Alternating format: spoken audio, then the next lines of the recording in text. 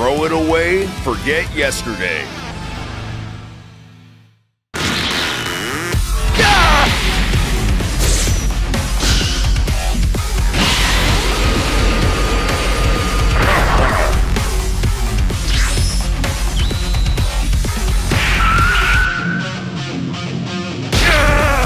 The monster snarls to know if someone stole the Kaio's power and reduced him to that pink, piggish form from earlier. Damn it! And no denying the irony here. Ah!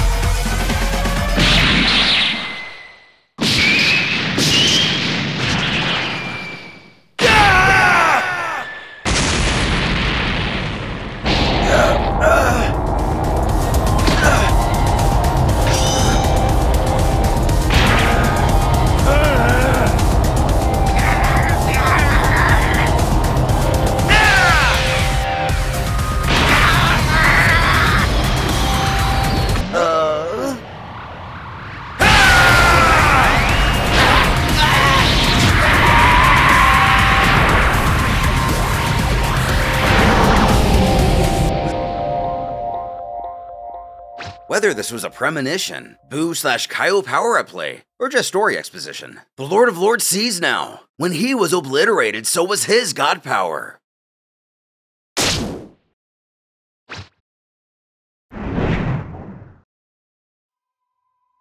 Strangely enough, it would seem this was actually Moro's doing. Now that he's taken a glimpse at those latent memories, it's clear to him that no being in this universe possesses the power to seal away his magic. How wonderful it is to not have that fear anymore!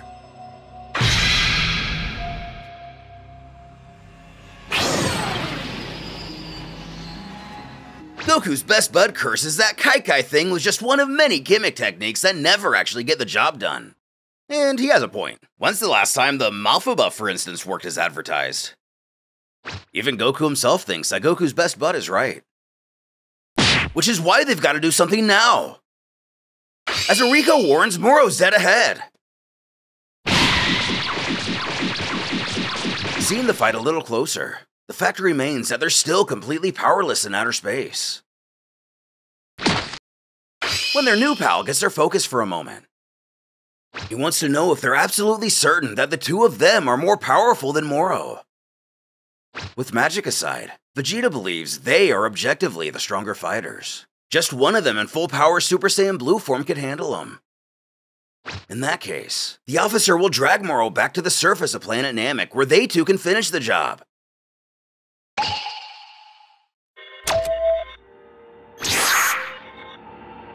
Although a bit silly, the duo are shocked to see the spaceman don a spacesuit. He politely requests they return to Namek in the meantime. He's off.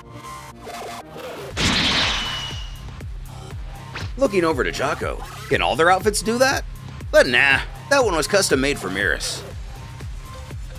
So Jaco isn't backing him up, Goku queries. And he can't. And he won't. He's scared of outer space, man.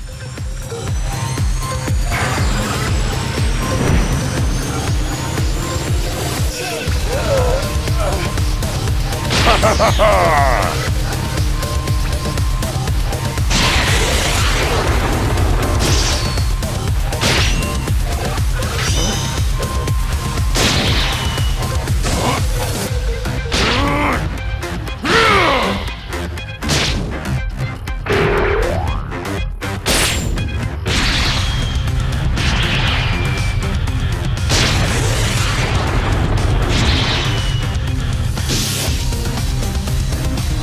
Proving to have another net after all. Merus uses the opportunity to slingshot over to the Lord of Lords, beckoning if he's still with them. They need to get Moro back to Namek somehow so the team can battle him together. Clearly more level-headed than most of the warriors we've become used to. The Kaio utters, Yes, of course. He knows he can't win this alone. Before that, he wants to confirm something with the Great Lord. He wants to know if he can still use instant teleportation. He replies that he certainly knows his stuff, as a Lord of Lords, he can. Excellent! When the time comes! Interrupting the pair, Moro screams. You again! Blasted Galactic Patrol!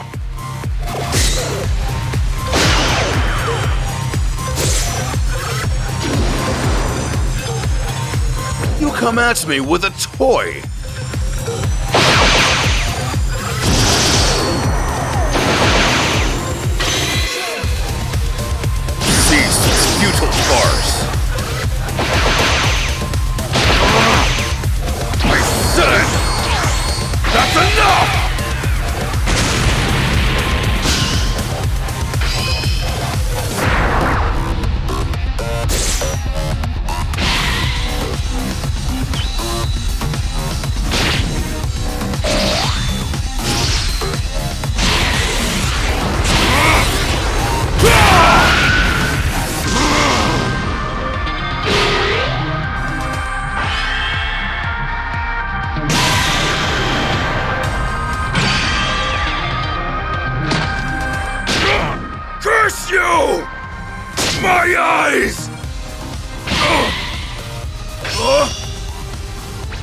You now! Looks like Merus is able to communicate the plan after all, whether simply before Merus' interruption or the telepathy that surely the Kaioshin has. Even the patrolman lets himself smile given the results. Gotta count the small wins. Just then, Goku is able to sense Moro's ki back on Namek now. He extends a hand and tells Vegeta they need to go after him.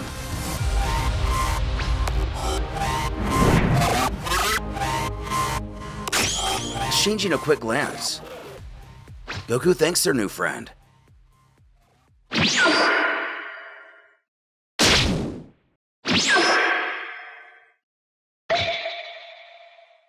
Now three on one. Our hero hollers over to Moro asking if he's ready for a fair fight. They're at full power now, so he won't get away again.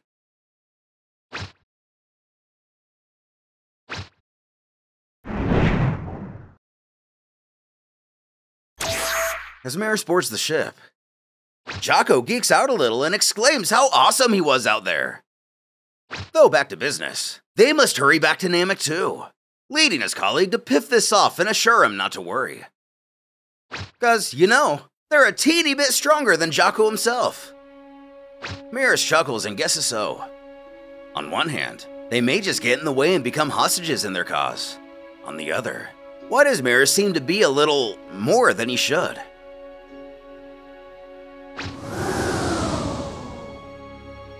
Moro places his hands on his hips.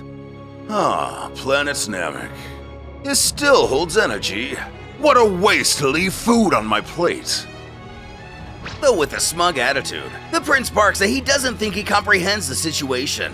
They're about to destroy him once and for all. Ha ha ha! So foolish. So naive. Now a little bemused by his confidence. Moro snarls that they seem to have forgotten something quite important. The third wish! At the Galactic Patrol prison. If the name didn't give it away, it's a location under the jurisdiction of the Galactic Patrol.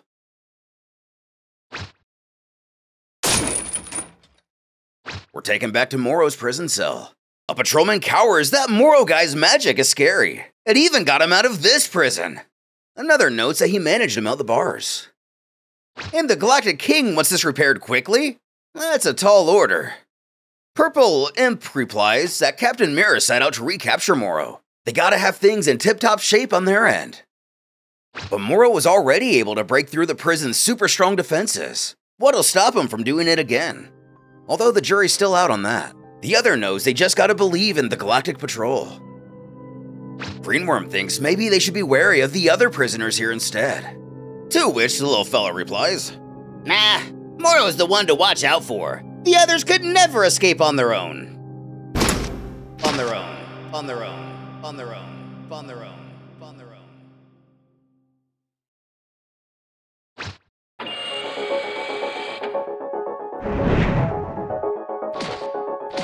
The duo walk into a room that contains a menagerie of beings.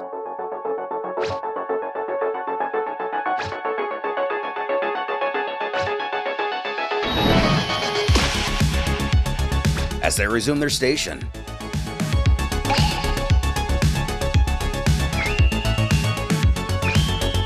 The patrolmen from earlier escort the Macarini gang to a fresh batch of cells. Two of which don't appear to be very pleased returning to their home away from home. Frankenstein orders them to get in. Doing so without protest. He scolds how many times do they have to lock they three up? Can't they learn their lesson for once? Ushering a scoff from their leader. Huh, a life of crime's the only kind for us. Which, likely unintentionally, mirrors back to what Jackie Chun said to Goku back in the day, though in his situation it was about a martial artist life. And until they can get as good at crimes as Goku is at fighting, they're gonna have to get used to that little cramped space. Frank rolls his eyes that it's unfreaking believable. They must actually love it in here. Checking back in on New Namek.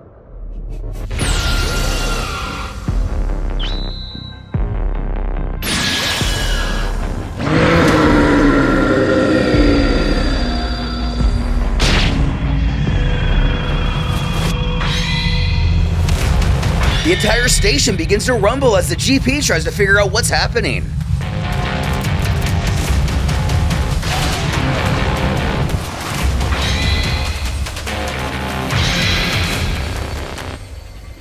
But no, no, this can't be! The cell barriers have gone down! There's nothing keeping the prisoners in their cells! In trepidation, Purple squeals if there was a malfunction, commanding Green to hit the switch. Slowly and equally freaked out, the detained soon discover the same. There's no barrier. That's when it's discovered the power itself is out. This is bad. But how is that even possible? It's not like a trillion dollar space station doesn't have one or two contingency plans for this. Confirming what so many believe was surely too good to be true. One after another, the prisoners holler it is true. The barriers are down. Is it really their chance to make a break for it? Voices echo out celebrating their freedom. Meanwhile, one inmate in particular merely sits in a cell smiling. You really pulled it off, Lord Moro. Finally taking his opportunity to exit. A couple others approach him as we're left to wonder what influence Moro left on these people. We also find out his name is Saganbo. The little one from the macaroni crew yells over to his big bro that this is their chance to run too. Pausing. He's guessing this is Moro's doing. Weirdly, he seems hesitant to take advantage of the situation. The patrol panically tries to get a hold of HQ, but to no avail. What the heck is going on?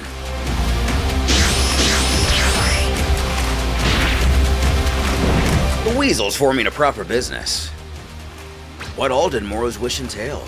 Only for the prisoners to be released from their cells? Or was the wish made in such a way to doom all of the Galactic Patrol as a whole? Clearly outmatched by the felons. Frank screams to know what they think they're doing, demanding the inmates back in their cells.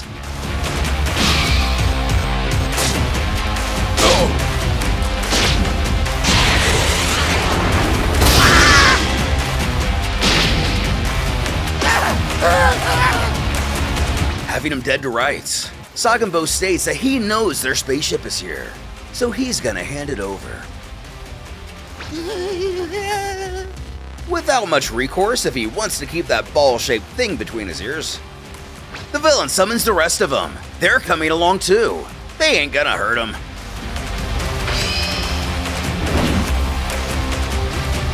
Eddie queries Pasta what about them? Are they going too? And believing this could get fun.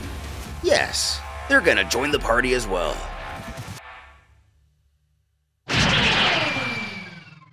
Alarms ringing out in Noriko's ship. It's an incoming message. No, an emergency dispatch straight from HQ. As Merus inquires of the situation. It's worse than they could have imagined. As their terrified expressions say only so much, Jaco shouts out for him to explain what happened. And it's the inmates at the Galactic Prison. They've staged a massive prison break. Say what? And the incident actually occurred only a moment ago. The message came late because they lost contact with the prison. But one meant to go, he says. That was right about when Moro obeyed his wish. Causing Eska to begin remembering a portion of what happened while he was being mind controlled. Since Shako wasn't there for that, he asks what he's remembering. And he means Moro's wish. The final one! As the former reminds of the whole brainwashing thing where he is forced to state their wishes. Jeesh, that must have been traumatic. Would hate for someone to say anything that would make you relive that nightmare. Regardless, yes, that's the event he speaks of. In that case, Merus puts two and two together. At the same time, Moro himself iterates the exact same thing to our heroes. For that final wish he demanded, it was for every prisoner in the Galactic Patrol to go free. Our protagonists want to know why he let them loose. Without answering, the goat looks to the sky and utters, Here they come. And he's right, up there! We're met with a wicked looking spacecraft. But is that really them? The prince wonders. And it seems likely. Goku can feel a lot of ki signatures in there.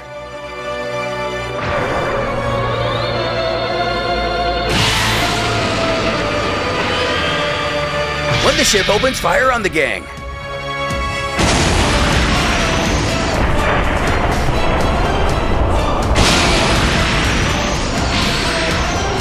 Caught off guard by the surprise attack, Goku asks the others if they think it's the freed prisoners.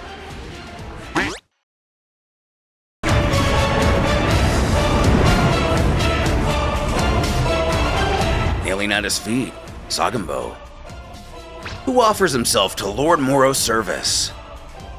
Said Lord is quite pleased to see he brought a small army. Well done indeed. As promised, he will share his power with all of them. But what does this entail? Seeing that the villain sneakily made his way onto the vessel during the confusion, this must have been his plan all along. He was waiting for his pals to show up. Getting our answer to the previous question faster than expected. The ones inside, the prisoners, their ki just grew. Goku thinks Moro must have used his magic again.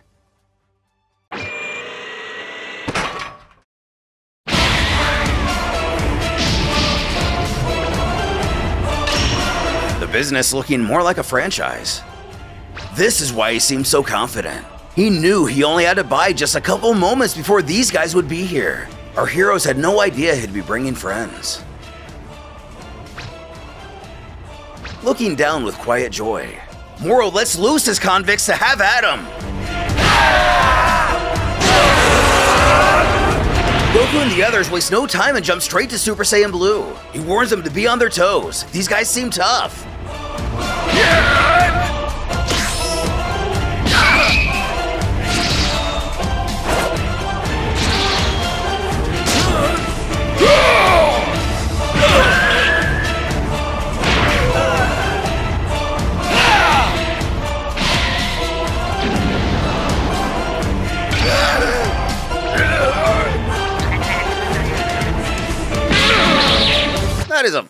liquor from Resident Evil.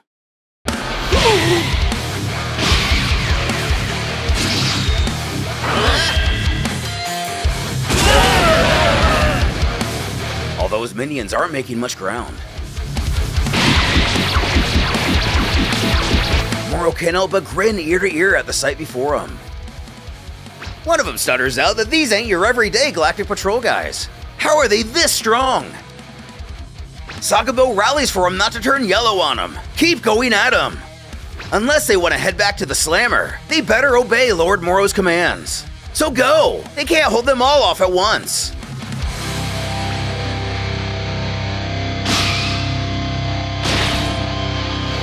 Falling out of blue.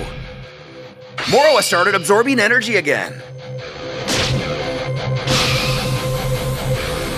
As Goku rushes upwards to put a stop to this, Saganbo offers to handle him.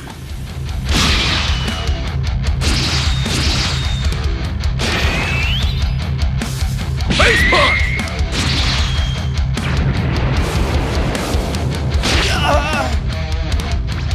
Unless just profoundly caught off guard by the downgrade from God to Super Saiyan 3, Moro's magic might have made these guys a little more powerful than expected.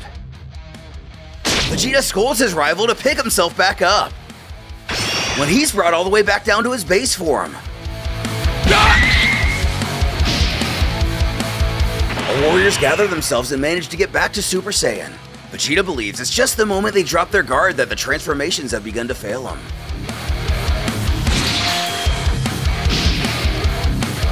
Presumably without any power-up transformations, albeit immune to the drain the mage is putting on the planet and our heroes. The Lord of Lords gets slammed to the ground. Although Goku calls him Buu, Vegeta points out that the battle against Moro in space earlier must have taken a toll on him.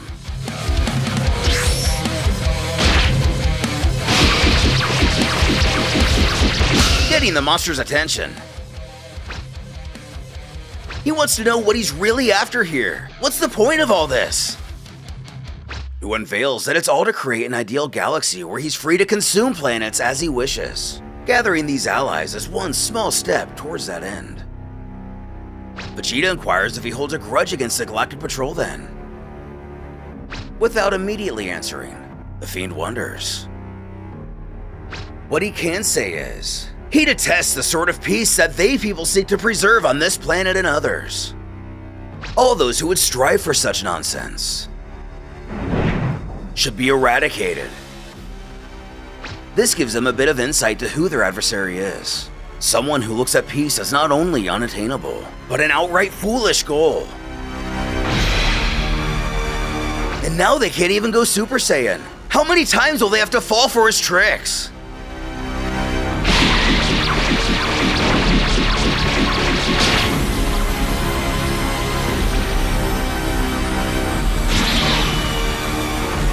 The patrolmen in the air just now become aware of what's happening below. Merus turns to his comrade. We have to help our allies, Agent Jaco! Huh? By we, you mean me too? Eska chimes in that he can help as well. He can't fight, but at least he can heal their injuries. While Merus's knee-jerk reaction is likely to deny this offer, something in his face says this is a desperate situation as the fight rages. These grunts aren't getting any weaker. Moro must only be absorbing the energy from the two of them.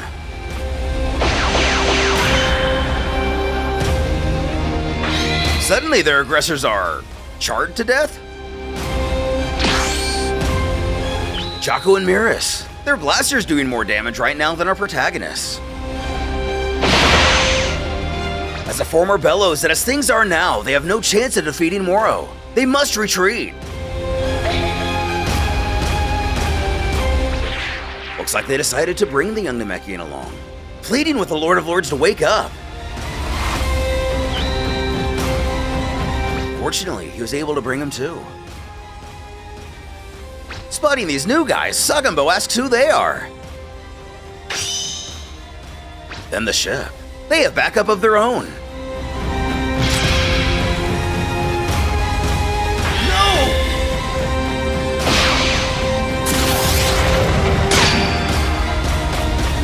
Amir saves his pilot as he's able to snipe the Fiend's weapon away from at least 7,000 Denny's restaurant booths away. Somehow, Goku's able to yell loud enough to warn Rico to get out of here. Doing the instant transmission fingers, he hears what Merus is saying. He wants him to grab his hand and they'll escape with instant teleportation. Looking over to the Great Lord of Lords, he beckons him to please use his own teleportation to warp to the Galactic Patrol HQ. Agreeing, the Kaio and Eska are the first to retreat. Gathering in a circle, everyone grabs onto Goku. Everyone except Vegeta. Outright refusing the situation. Goku asks what's the holdup? If he absorbs any more of his energy, he won't be able to use instant teleportation again leaving the rebel to grunt. Stupid magic spells. Stupid god power. Forget instant teleportation. They Saiyans pride themselves on physical might. A warrior race has no need for fancy parlor tricks. And yet, he's been reduced to this.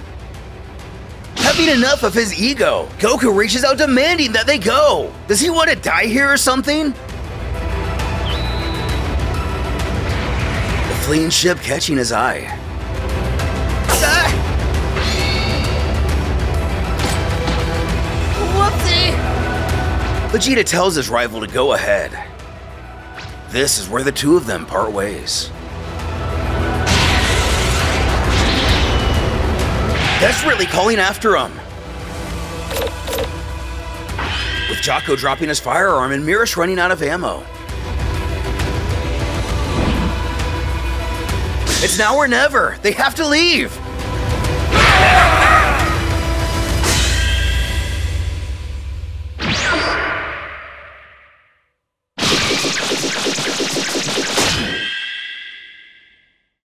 So without being able to take Vegeta with them, the three of them teleport away, leaving the convicts amiss how they did that. But where did they run off to?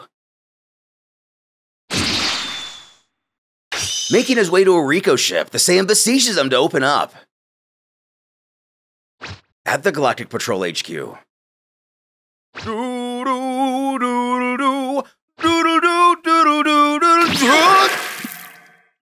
Accidentally interrupting a rather private moment for the Galactic King. Goku apologizes, but he was the only ki he could sense. Causing a much more sincere apology from Jaco. He's so sorry to interrupt his royal bath. The patrol leader has to ask what he thinks Vegeta meant by all that. And even Goku doesn't know what he could be thinking.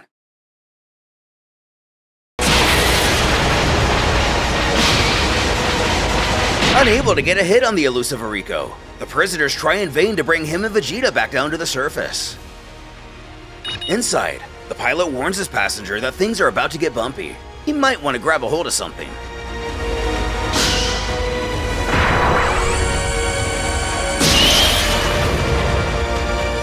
Going to Plaid, the patrolman loses him.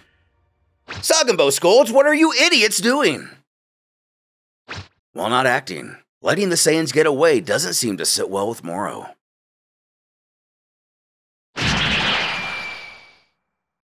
By the skin of their teeth, the two of them were able to finally get off the planet.